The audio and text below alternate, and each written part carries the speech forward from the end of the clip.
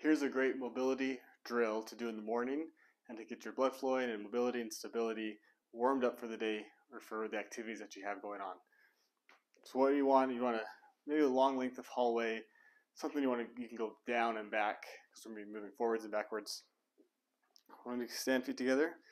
The whole part of this, you want to go nice and slow and controlled. You don't want to lose your, keep your balance as much as you can, but you don't to go too fast. It's more of a controlling your movements.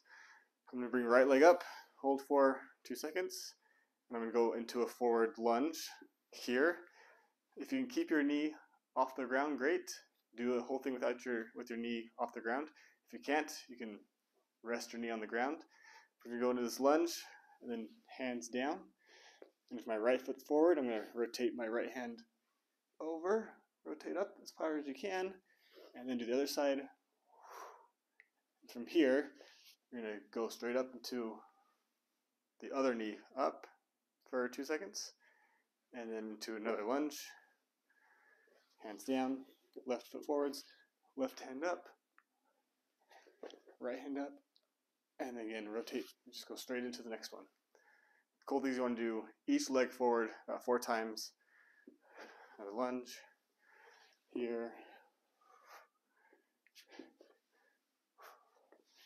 Come up. When I get to the end of my hall, I'm just going to turn around and just go back.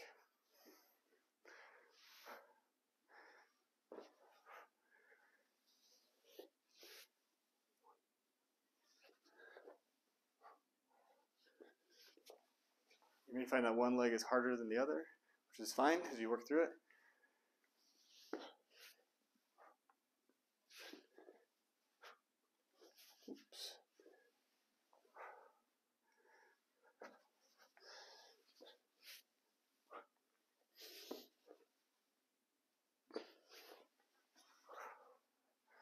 Rotate around. The goal is to do each leg for four times so doing the lunge about eight times